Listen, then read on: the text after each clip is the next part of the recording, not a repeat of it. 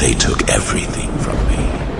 It's the stage. I made a deal so I could see her again. But it was a lie. Now, I seek vengeance.